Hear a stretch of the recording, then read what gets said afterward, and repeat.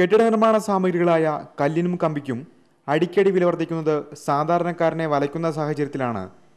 കെട്ടിട നിർമ്മാണ ചെലവ് കുറച്ചുകൊണ്ടുള്ള ഈ പുത്തൻ സാങ്കേതികവിദ്യ വാർക്കയ്ക്ക് മെറ്റലും കമ്പിയും ആവശ്യമില്ലെന്ന് പ്രവൃത്തിയിലൂടെ തെളിയിച്ചിരിക്കുകയാണ് നീലേശ്വരം കടിഞ്ഞിമുല സ്വദേശിയായ ദിവാകരൻ.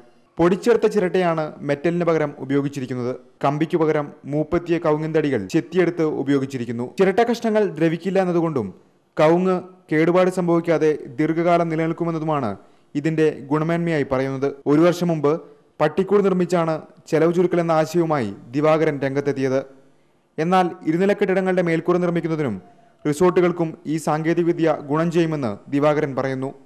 പരിസ്ഥിതിക്കിണങ്ങിയ ചെലവ് ചുരുങ്ങിയ കെട്ടിടം നിർമ്മിക്കാമെന്നുള്ള ഉദ്ദേശത്തോടു കൂടിയാണ് ഞാൻ കമ്പിക്ക് പകരമായിട്ട് മുഴുത്ത കഴുങ്ങ് തടി നന്നായിട്ട് ചെത്തി മിനുക്കിയെടുത്ത് കമ്പിക്ക് പകരമായി പകരമായിട്ട് ഉപയോഗിച്ചു.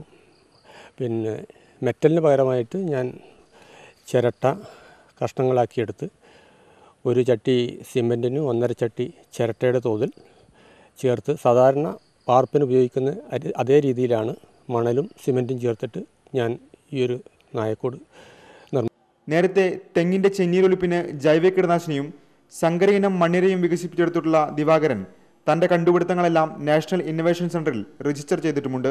രണ്ടായിരത്തി എട്ടിൽ നടന്ന ഒന്നാം കാർഷിക കോൺഗ്രസിൽ മികച്ച കാർഷിക ശാസ്ത്രജ്ഞനുള്ള ബഹുമതി നേടിയ ഇദ്ദേഹം ഇപ്പോൾ വീടിനോട് ചേർന്ന് ചെമ്മീൻ കൃഷിയും നടത്തുന്നുണ്ട്. India vision Kasaragod.